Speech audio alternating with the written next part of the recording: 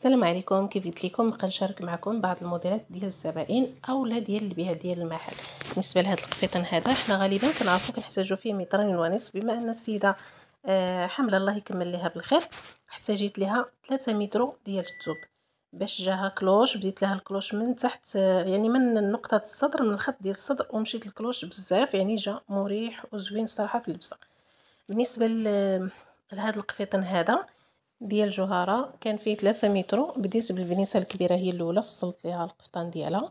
الثوب اللي بقى خدمته البنيسه الصغيرة كملت ليها بثوب آخر. غادي نوري لكم الصورة ديالو. يعني فكرة اللي بغات طبقها. يعني باش إلا ما كفاكمش الثوب ولا شي حاجة ما كانش كافي. يعني كفكره أنا حطيت لكم غير الصورة خديتها نيت من الفيديو.